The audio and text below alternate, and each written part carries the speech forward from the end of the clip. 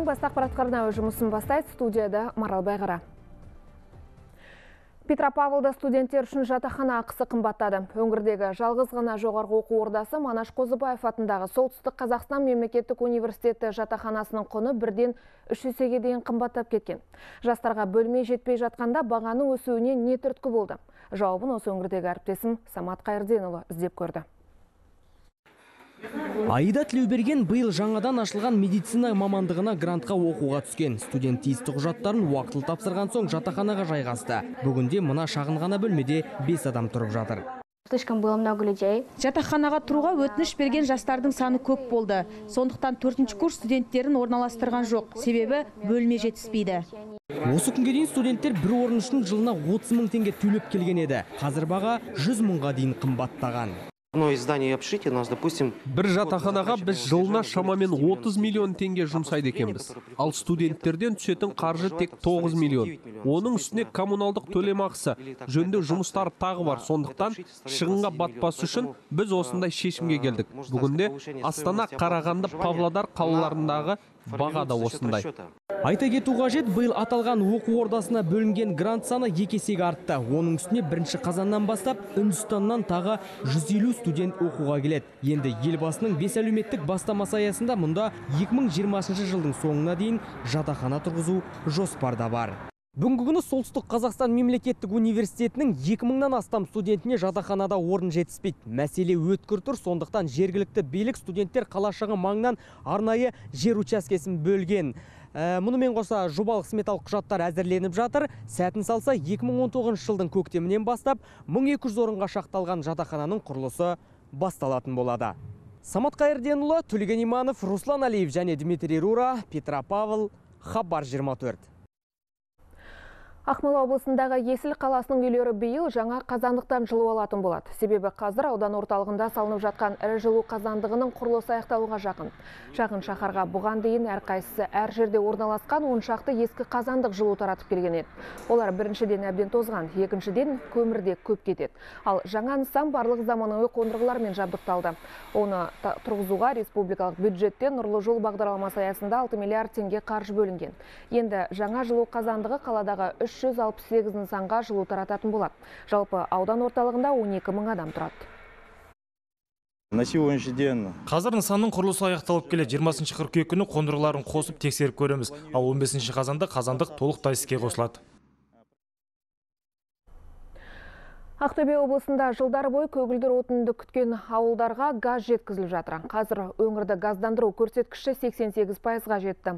Облыс тұрғындарынан көгілдір отынмен қамтамасыз етіп отырған монополист компания 5 жылға арналған инвестициялық бағдарлама жасап, сол бойынша газ құбырларын жүргізіп жатыр. Одан бөлек бірнеше газ тарату станциясы салынды. Мына автоматтандырылған газ тарату станциясы өткен жылы ашылған болатын. Бұл нысан осы аумақтағы ең ірі зауыт пен индустриалды аймаққа көгілдір отын жеткізеді. Одан бөлек бірнеше әлеуметтік нысан мен коммуналдық кәсіпорын осы станциядан газ алады.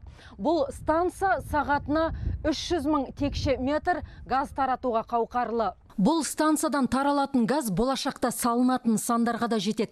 Қол күшін көп қажет етпейтін автоматтандырылған станцияны іске қосу үшін 32 шақырым құбыр тартылды. Екі газ реттегіш бекет салынды. 300 мың текше метр газ таратуға қауқарлы станцияның елімізде әзірге баламас жоқ. Нысан табиғи газды Қобда, Мәртөк, Алға және Қарғалы сияқты жақын аудандарға да жеткізеді. Жалпы монополист компания 2015-2017 жылдары үш аудан орталығы мен жеті елді мекенге газ жеткізіп берді. Бұл дегеніміз 30 мың адамға газбен қамтамасыз етуге мүмкіндік берді.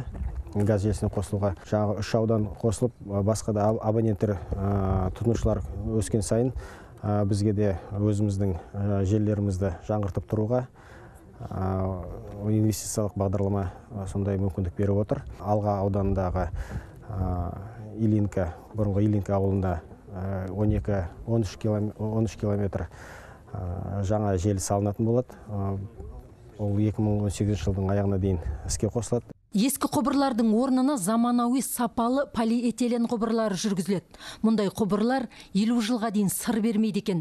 Жалпы компания 2030 жылға дейін облыс тұрғындарының 96 пайызын табиғи газбен қамтамасыз етуді жоспарлап отыр. бес жылдық э, көлемінде аталған компанияға тарифтердің шекті деңгейі бекітілді. Э, әр жылдың бірінші қаңтарынан бастап әрекет етеді ол тарифтер. Э, биылғы жылы бірінші шілдеде газдың бағасы бізде қымбаттады. Қазіргі таңда тұрғындар үшін ол 10 теңге 96 тиын болып тұр.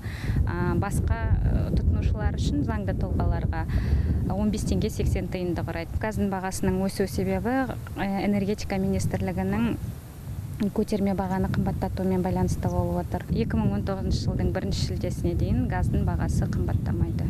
Инвестициялық бағдарлама бойынша 22 миллиард теңгеге жуық қаржы қаралса оның 96 пайызы игерілген. 641 шақырым құбыр тартылып ескі құбырлардың 17 пайызы жаңартылған. Нәтижесінде желде болатын апаттар 74 пайызға азайыпты. Ақсәуле байменшина болат молдағалиев айбек дәуітов ақтөбе облысы хабар 24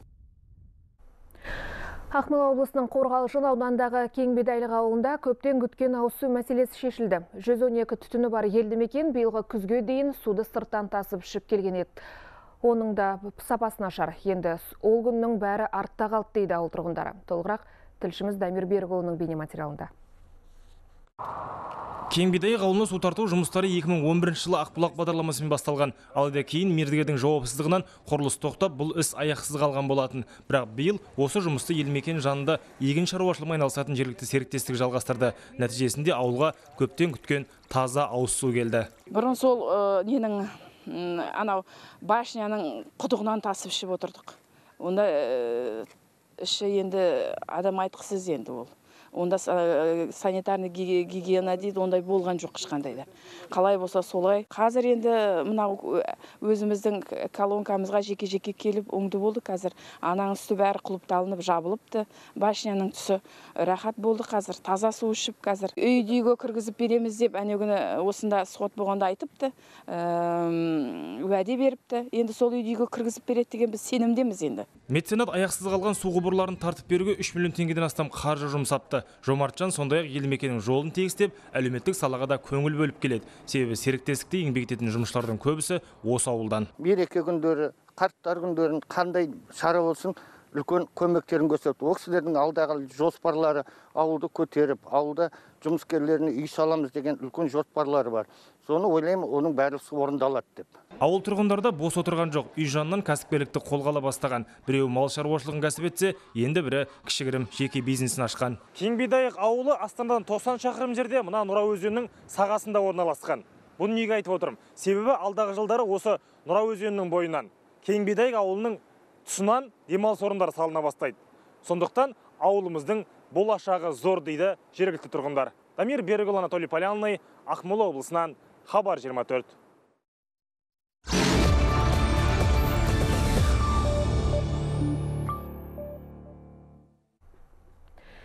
Инатранс халықаралық темір жол индустриясы көрмесінде жаңа электробустар мен жоғары жылдамдықты көліктер таныстырылды. Германияда дәстүрге айналған ірі жәрмеңкеге 1996 жылдан бері өткізіліп келеді. Биыл оған 60 елден өкілдер қатыспақ.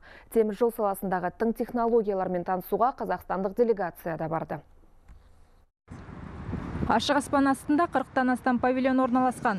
Бұл жерде өздігінен жүретін трамвайдан бастап екі қатарлы қуат үнемдегіш пойызға дейін бар. Әр жылда өндірушілер тың өнімдерін таныстырып келеді. Биылғы инновация рельспен жоғары жылдамдықты жүретін көлік. Ол болашақтың темір тұлпары десе де болады. 6 адамдық орны бар үлгі сағатына 500 шақырымға дейін жылдамдығын ұлғайта алады. Қатысушылар арасында отандық өндірушілер де бар. Мәселен, Ақтөбе рельс арқалық зауытының өкілдері Германияға келіп, жергілікті кәсіпкерлермен әріптестік орнатуды көздеп отыр. На инотрансе очень повышенный интерес. Инотранс көрмесінде біз шығаратын рельске деген қызығушылық жоғары. Шетелдік әріптестер Қазақстанда инновациялық технологияның қарқынды дамып жатқанына қатысты таңданыстарын жасыра алмауда. Мәселен, Эстония, Франция, Польша, Литва, Финляндия және Латвия елдерінен өнімімізге деген жоғары сұраныс байқалады. Сондай-ақ Иннотранс жәрмеңкесіне Қазақстан темір жолы ұлттық компаниясының делегациясы да келді. Қазақстан темір жолы өкілдері саммитке қатысып, шетелдік әріптестермен келіссөздер жүргізді. Сонымен қатар Берлинде көлік және логистика саласындағы германиялық компания басшыларының дөңгелек үстелі өтті. Неміс кәсіпкерлері елімізде транзиттік тасымалдың дамып келе жатқан туралы айтты. Мәселен, Қытайдан кәрі құрлыққа жүк тасымалына жұмсалатын уақыт Қазақстанның арқасында едәуір қысқарды. Также была очень большая встреча. Логистика саласы саласы бойынша германиялық іскерлермен кеңейтілген отырыс өткізілді қазақстанның транзиттік әлеуеті мен қытай нарығындағы жұмысы туралы талқыланды мен жергілікті кәсіпкерлермен кездесіп олардың қазақстандағы көлік логистика саласына бейжай қарамайтынына көз жеткіздім. Осы кездесу ынтымақтастығымызды дамыту үшін берілген мүмкіндік. Қазақстан аса маңызды транзиттік мемлекет. Соңғы 10 жылда қарқынын тіпті өтті. Біз Еуропа мен Қытай арасындағы контейнерлік тасымалдау бойынша жұмыс істейміз. Биыл ірі халықаралық теміржол көрмесіне әлемнің 150 елінен 160 мыңнан астам адам келген. Шолпан Найманбаева, Мирослав Лавриновский, Хабар 24, Германия. Ақмола облысының Есіл ауданында жеке кәсіпкерлер көп қабатты тұрғын үйлер құрылысын қолға ала бастады. Қазір аудан орталығында 32 пәтерлі үй салынып жатыр. Компания бұл баспаналарды халыққа 7-20-25 бағдарламасы арқылы да сата аламыз дейді. Ал мемлекеттік жекеменшік әріптестік аясында алдағы уақытта тұрғын үй құрылысын одан әрі жалғастыра бермек. Жалпы облыс орталығынан 300 шақырым жерде орналасқан Есіл ауданында соңғы жылдары баспана құрылысы тоқтап қалған болатын. Ал ауданда қазір 566 адам пәтер кезегінде тұр. Ближайшем будущем э, в этом э, ря- рядом с алдағы уақытта осы маңайдан тағы бірнеше үй саламыз. Құрылыс материалдарының көбісі өзімізде өндіріледі. Ауданда жаңа баспанаға деген сұраныс зор. Нақты ақшаға сатып алмаса да банк арқылы ипотека алғысы келетіндер көп. Ақмола облысының меценаттары ауыл тұрғындарына жәрдем беріп жатыр. Олар мұқтаж жандар үшін үй салып шаруа қожалығының жұмысшыларына жатақхана тұрғызып береді. Ал кей кәсіпкерлер нан бағасын 30 теңгеге дейін субсидиялаған. Қол жетпегендердің мал азығы және қысқа отын әзірлеп беріп алғыс алып жатқандар да жетерлік. Мәншік ауылының халқы қоныс тойын жиі тойлайтын болған. Бұл жолы баспаналы болғандардың бірі Ақбике Жаубатырова. Оның отбасы жаңа үйдің табалдырығын зор қуанышпен аттады. Үйді жергілікті шаруа қожалығы өз қаржысына салып берген. үйіміз өте жақсы жарық кен балаларға өте жақсы жылы бұрынғы үйіміз ескі болды Ауылдық ағайындарға Есіл ауданында да қолдау көрсетіліп жатыр. Жергілікті кәсіпкерлер ауылдастарына 15 жылдан бері нанды арзан бағамен саудалап келеді. Конечно, себестоимость хлеба намного выше. әрине нанның өзіндік құны әлдеқайда жоғары бірақ біз осы бағаны ұстап отырмыз талай қиын кездерде де бидайдың бағасы қымбат болып оны өте тапшы уақытта да осы 30 теңгеден сатып келдік Ал Кең Бидайық ауылында 30 орынға шақталған жатақхана салынды. Бұл да кәсіпкерлердің әлеуметтік қолдауымен жүзеге асырылды. Ғимарат жергілікті шаруа қожалығы жұмысшыларымен осында еңбек етіп, нәпақа табатын қорғалжындықтардың игілігіне берілген. 30 проживающих мужчин. Мұнда тұратын 30 ер азамат егіс алқаптарында жұмыс істейді. Олар үшін барлық жағдай жасалған. Жуынатын бөлме, монша, аспаз бәрі бар. Жалпы тұрмысқа ыңғайлы етіп салынған. Ауыл жұрты игі бастамаларға дән риза. Меценаттар бұл істерін стратегиялық маңызы бар шара деп санайды. Айтуларынша, ауылда өмір сүруге қолайлы жағдай туғызу керек. Осы арқылы жалақысы жоғары жұмыс іздеп, қалаға көшкісі келетіндер санын азайтуға болады. Руслан Бақытбекұлы, Мадина Смағұлова, Анатолий Полянный, Евгений Шинкаренко, Ақмола облысы, Хабар 24. Семейліктер шат-шадыман қала күнін тойлап жатыр. Жұрт әуелі Абай, Шәкәрім, Шоқан, Мұхтар Әуезов, Әміре Қашаубаев ескерткіштеріне гүл шоқтарын қойып, танымдық қойылымдарға куә болды. Жастар велошер ұйымдастырып, орталық алаңда өнер жұлдыздарының концерт өтті. Көшелері көне тарихтың сан құпиясын бүгіп жатқан Алаштың бесігіндегі мерекелік шаралардан тілшіміз Болат Көкенайұлының репортажы. 18 ғасырдың басында қалаға көне керуендер тізбегі осы жәмішев қақпасы арқылы еніп отырған. Соңғы кездер семейдің тарихы жөнінде зерттеушілер бір байламға келе алмай жүр. 300 бе мың жарым ба 3000 жыл ма ол жағы нақты белгісіз. Сондықтан да қала әкімдігі биылғы қала күнін ешқандай мерейтойлық даталарға байланыстырмай өткізді. Еліміздің рухани мәдени орталығы саналатын семейде абай шәкәрім мұхтар шоқан сияқты ғұламалар мен күміскөмей жезтаңдай әнші әміре жүріп өткен жолдар жатыр. Осыдан тура бір ғасыр бұрын қаланың сол жағалауы алаш деп аталып азаттық жолындағы күрескер тұлғалар да ел болудың қамын ойлаған шаһарда осы.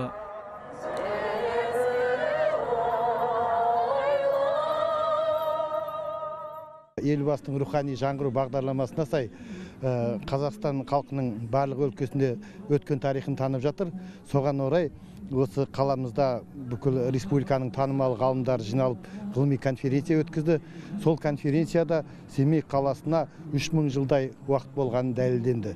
Кезінде бұл қимақ мемлекеттің астанасы болған оғынға дейін де осы қала тұрған кезінде атила бабамыз да алтайдан шығып еуропаны жаулаған тойымыз той қыласын тәуелсіздігіміз мәңгілік болып жастарымыз өркениетті елде өмір сүруін алла нәсіп етсін. Семейдің өзі негізі рухани қала болып саналады ғой. Бүкіл қазақтың қаймақтары алаштың азаматтары барлығы осы қаладан шыққан осы қалада өздерінің еңбек жолдарын бастаған осы қалада халқымыздың тәуелсіздігі үшін күрескен қаламыз жылдан жылға көркейіп келе жатыр. Соған әрине қуанамыз. Міне келешек үшін ғой барлығы да. Мерекелік көңіл күй әуелеген ән мен күмбірлеген күйден бөлек велошеру болашақ ұрпаққа арналған уақыт капсуласын орнату сияқты шаралармен өрнектелді. Ал кешкісін қала тұрғындары мен қонақтары үшін өнер жұлдыздарының қатысуымен гала концерт ұйымдастырылды. Болат көкенайұлы медет өмірханов берік жұбылайұлы хабар 24 семейден. 25 қарашада Минск қаласында өтетін халықаралық балалар Евровидениесіне Қазақстан алғаш рет қатысады. Ел намысын Данелия Төлешева қорғайды. Ол ұлттық іріктеудің ақтық мәресінде 10 үміткердің ішінен топ жарды. Толығырақ келесі бейне материалымызда.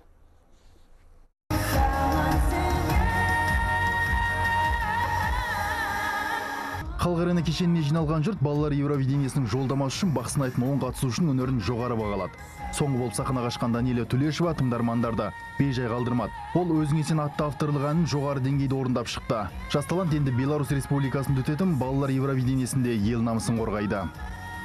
Я сделала все что было в моих силах. Мен барымды салдым жақсы өнер көрсеттім деп ойлаймын. Бұдан да жақсы орындауға болады. Өйткені кез келген қатысушы мұндай маңызды сәтте толқиды. Мен де қатты қобалжыдым. Әншіге композицияны таңдауға ұстазы наталья чуракова көмектеседі. Бірақ соңғы шешім жас таланттың өзінде. Өйткені әнші орындайтын әнін жанымен түсінуі керек. Ну, у нас работа к подготовке к конкурсу идет не только моя, но... конкурсқа дайындық жұмыстары барысында маған ғана салмақ түспейді. Негізгі ауыртпалық музыкалық ұстазда. Ол үнемі данелияның дайындығын қадағалайды. Менің жұмысым оған қолайлы жағдай жасау. Ұлттық іріктеудің жеңімпазы бала кезінен ән шырқайды. Ал отбасы өнерпазға үнемі қолдау көрсетіп келеді. Жас әншінің алдында әлі талай жеңісті тұғырлар тұр. Айта кетейік данелия украинада өткен балалар дауысы сайысының жеңімпазы. Өткен жылы ол еуропа үміткер конкурсының бас жүлдесін жеңіп алған болатын. Песня о том что нельзя жить будущим и менің әнімде адамның өткен шақпен немесе болашақпен емес бүгінгі күнмен өмір сүру керектігі айтылады. Дәл осы шақты бағалау керек. Бір нәрсені армандаса оны бірден қолға алу қажет. Бір реті болар деп күтіп отыра беруге болмайды. Жас әнші өзіне дауыс берген хабар телеарнасының көрермендеріне алғыс білдіреді. Ол осы әнін алда болатын ақтық сында да орындайды.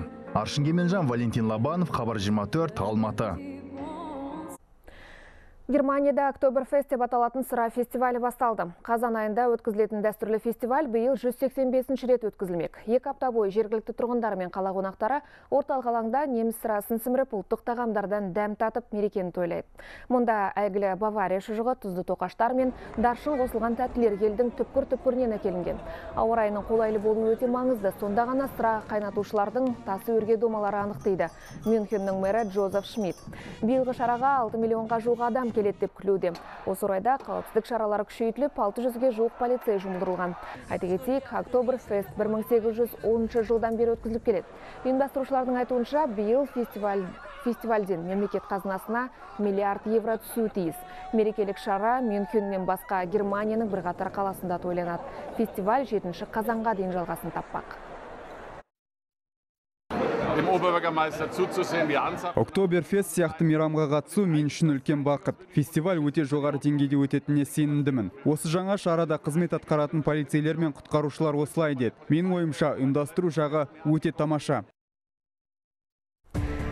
Редакциямызға келіп түскен ақпараттар легі осындай болды. Арнамыздан алыстамаңыздар.